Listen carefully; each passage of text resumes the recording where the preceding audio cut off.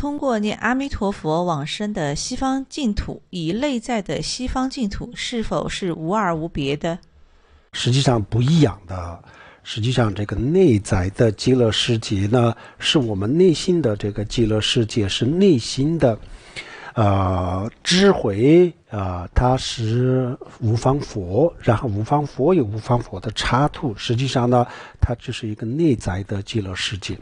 然后这个是我们平时在那个净土讲的这个，呃，这个呃极乐世界呢，那它就是一个不是是一个在世俗里面的一个外在的世界。啊，外在的世界，外在的世界，比如说我们这个地球上啊，也有很多非常幸福的地方啊，也有很多很糟糕的地方都有的。所以呢，我们这个宇宙当中啊，就是有些地方是非常糟糕的地方、痛苦的地方，有些地方很幸福的地方。那么这个极乐世界呢，那就是其中一个啊。所以呢，一个是外在的使节，一个是内在的，这两个有点不一样。